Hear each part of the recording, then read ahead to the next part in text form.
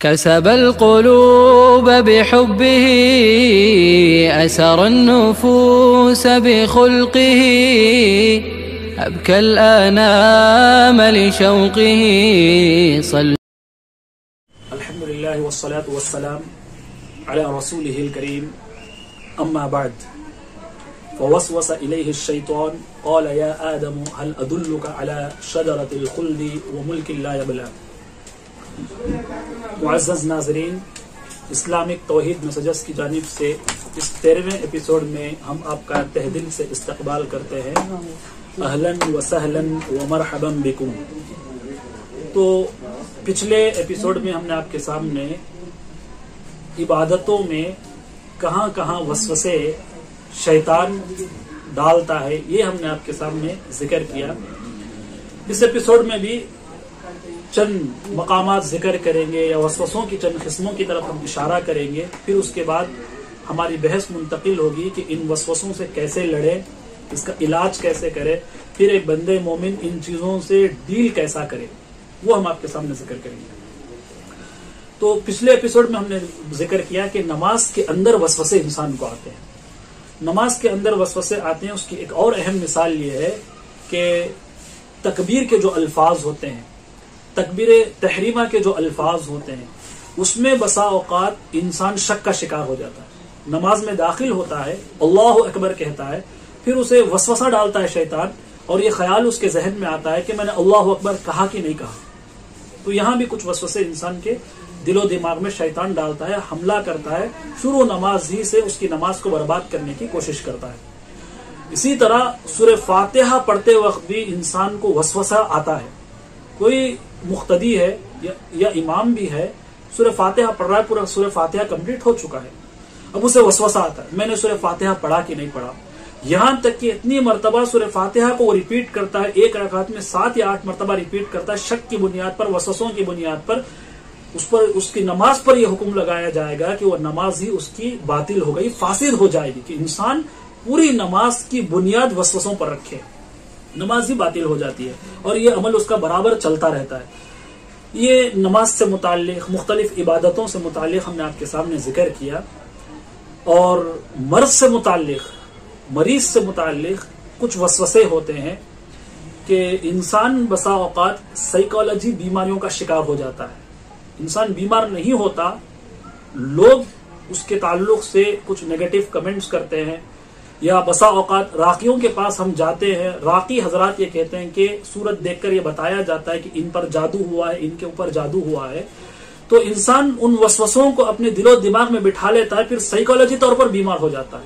हालाँकि हकीकी तौर पर फिजिकली कोई डैमेज नहीं होता वो इंसान। फिजिकली उसे जो है कोई बीमारी नहीं होती। बस जो नेगेटिव कमेंट्स अपने बारे में सुनता है, या शैतान डिप्रेशन की हालत में उसे लेकर जो जाता है, वो समझता है कि मैं बीमार हूँ। यहाँ तक कि ये मर्ज से मुतालिक उसकी बीमारी इतनी ज़्यादा बढ़ जाती है कि छोटा सा मार लग जाए, या छोटी सी चोट आ जाए, या हल्का सा सर में दर्द हो जाए, समझने लगता है कि मेरे ऊपर जादू हो गया। ये वसवसे जो है शैतान इंसान के दिवलो दिमाग में डालता है। छोटा सा पेट में दर्द शुरू हो जाए, समझता है कि मुझे कैंसर हो गया। थोड़ा यहाँ चेस्ट पेन हो जाए, समझता है कि मैं हार्ट अटैक मुझे आ जाएगा। तो ये वसवसे जो होते हैं, शैतान की जानब से मर्ज से मुतालिक, मरीज़ से मुतालिक, इनको अवॉइड और परहेज करने की ज़रूरत है। और ये आदमी हकीकत में एक मरहला ऐसा आता है साइकोलॉजी बीमारी इसे कहा जाता है, कि इतना बीमार हो जाता है, कोई तबीब इसे मशवरा दे रहा है, कोई नसीहत करने वाला इसे नसीहत कर रहा है ऐसे बीमार को मेंटली आदमी बीमार हो चुका है, किसी की नसीहत उसे काने नहीं कर पाती। यानी उसे तसल्ली नहीं मिलती किसी की नसीहत को सुनकर।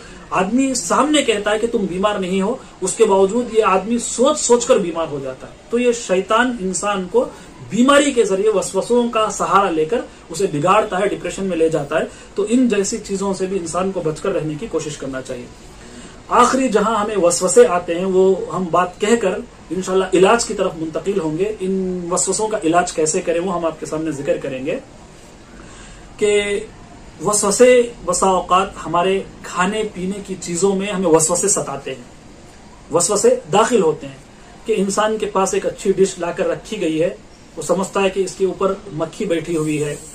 या पकाने वाले ने कैसे पकाया होगा? ये जो नेगेटिव वसवसे या नेगेटिव थॉट्स इंसान के जो होते हैं, और इस तरह एक हलाल चीज़ को इंसान वसवसों की बुनियाद पर अपने ऊपर हराम करार दे लेता है। ऐसा भी होता है। एक वाकया नबी करीम वसल्लम के जमाने का हम आपके सामने ज़िक्र करते हैं। सही रिवायत है, राविया हज़रत ऐशा रज़ी अल्लाह तहा है कि यस अन बिल्लहम। अल्लाह के रसूल के पास एक ऐसी कौम के बारे में सवाल किया जाता है जो सहाबा के पास गोश्त लेकर आती थी। गोश्त लेकर आती थी। और ये नहीं मालूम होता कि उस गोश्त के सिलसिले में कि जब इसको जबा किया गया, बिस्मिल्लाह पढ़ा गया या नहीं पढ़ा गया। ये नहीं मालूम होता था। तो अल्लाह के रसूल ने क्या बेहतरीन बात बयान फरमाई। देखिए, इंसान को शक्की मिजाज का नहीं होना चाहिए, वहम नहीं पालना चाहिए अपने दिमाग में डाउट का शिकार नहीं होना चाहिए। कभी होता क्या है कि हम किसी के घर पे जाते हैं और वो कोई मीठा हमारे सामने पेश करते हैं। हम उस आदमी के बारे में ये डाउट का शिकार हो जाते हैं, ये हमें मीठे में कुछ चीज़ें मिलाकर दे देता है और इस तरह हम बीमार हो जाते हैं, जादू का शिकार हो जाते हैं।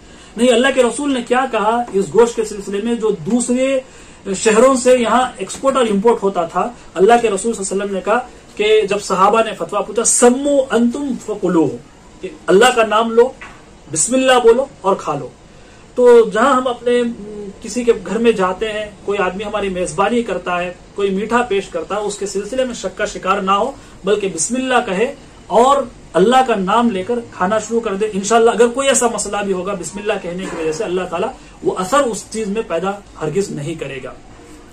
ये हमने आपके सामने पिछले एपिसोड्स में ये ज़िक्र किया कि वसवसे कहाँ कहाँ आते हैं, गसल में, वज़ू में, इसी तरह तहारत टूटने में, खाने पीने के सिलसिले में, नमाज़ में, नमाज़ के अल्फाज अदा करने में, ये तमाम चीज़ें हमने आपके सामने ज़िक्र की। मरीज़ से मुतालिक भी हमने आपके सामने ज़िक्र किया।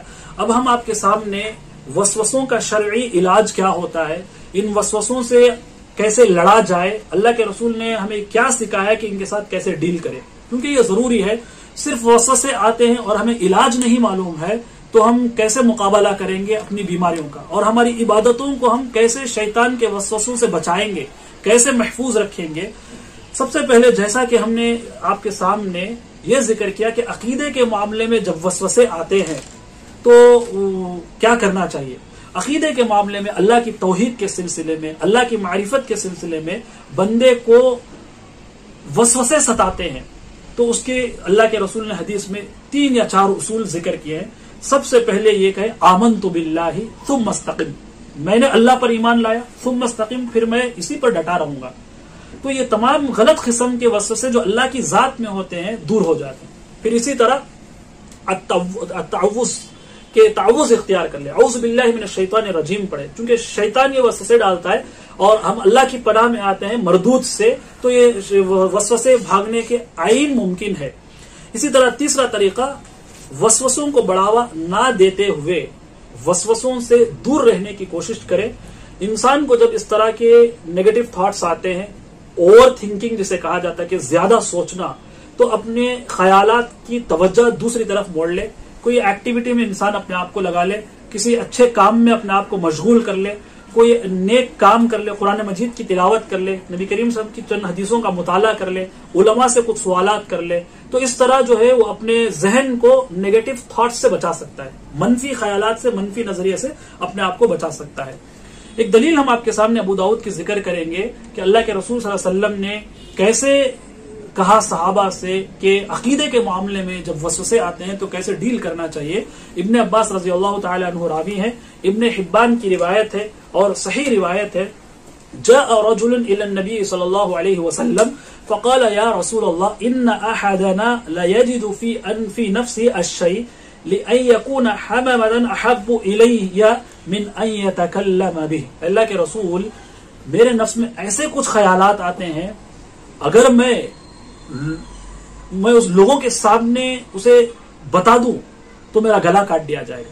और बाज रिवायतों में यह है कि मैं उन ख्यालात के इजहार से ये बात ज़्यादा पसंद करता हूँ कि मुझे जहन्नम में डाला जाए, ये बात मुझे पसंद है, लेकिन अल्लाह के बारे में इस जैसे कलिमात या इस जैसे ख्याल लोगों के सामने मैं बयान करूँ, ये मुझे सही नहीं लगता। वो साहबी पूछते हैं, अल्लाह के रसूल कहते हैं, अल्लाह अकबर। अल्लाह ताला सबसे बड़ा है। अल्हम्दुलिल्लाह तमाम तारीफें अल्लाह के। रद्द अमरहू इलल वसवसा। कि इस चीज़ को अल्लाह ने वसवसे की हैसियत दी। इसको शरीयत की हैसियत देते हुए इस पर अल्लाह ने मुआखजा नहीं किया हमारा। अगर अल्लाह ताला इन ख्यालात पर हमारा मुआखजा करने लग जाए तो बड़ी मुसीबत हो जाएगी, बड़ी मुश्किल में लोग आ जाएँगे। तो अल्लाह ताला ने क्या कहा? कि इन वसवसों को, वसवसों की हद तक रखे, लोगों के सामने उन वसवसों को ना ज़िक्र करे, एक्सप्रेस ना करे उनको। इसी तरह आखिरी एक रिवायत हम आपके सामने पेश कर कर अपनी बात को खत्म करने की कोशिश करेंगे। जैसा कि ये अकीदे के मामले में हमने आपके सामने ज़िक्र किया कि वसवसे जब आते हैं, इंसान को कैसे उन पर काबू पाना चाहिए। जब नमाज़ में वसवसे आते हैं तो उसका इलाज क्या करना चाहिए? ये भी नबी करीम वसल्लम ने मुस्लिम की रिवायत में ज़िक्र किया। अल्लाह के रसूल सल्लल्लाहु अलैहि वसल्लम से पूछा गया इन शैतान कद हाल बैनी व बैन सलाती व किराती अल्लाह के रसूल शैतान जो है बसा औकात मेरी नमाज़ मेरी किरात के दरमियान हायल हो जाता युलब भी सुहा अलिया। और मुझे शक में डाल देता है। मुझे शक में डाल देता है। शैतान मेरे साथ खेलता है। फ़काल रसूल शैतान वो शैतान है जिसका एक खास नाम है जिसको खिंजब कहा जाता है। तो खिंजब जो होता है ये नमाज़ में ए, क्या करता है? वसवसे डालने की कोशिश करता है। अल्लाह के रसूल कहते हैं फ़ैदा हसस जब तुम्हें इस इस तरह के वसवसे महसूस हो फ़तअवज़ बिल्ला तो औजुबिल्ला पढ़ लिया करो और अपने लेफ़्ट तरफ़ जो है तीन मरतबा थूक लिया करो और जब इस तरह तुम करने लग जाओगे तो अल्लाह ताला तमाम किस्म के वसवसों से तुम्हें बचा लेगा और नमाज़ जो है पूरी कॉन्सेंट्रेशन के साथ, पूरी तवज्जा के साथ इंसान पढ़ पाएगा। इस दर्स में हमने आपके सामने ज़िक्र किया कि वसवसे कहाँ कहाँ आते हैं। फिर दो चीज़ें, एक अकीदे में वसवसे आते हैं, उसका इलाज क्या है? नमाज़ में वसवसे आते हैं, उसका इलाज क्या है? ये हमने आपके सामने ज़िक्र किया। अल्लाह ताला से दुआ है कि अल्लाह ताला हमें ये नेगेटिव थॉट से बचाए, गैर शर्यी वसवसों से अल्लाह ताला हमें बचाए। आमीन व आखिर दावाना अनिलहमदिल्ला रबीआलमीन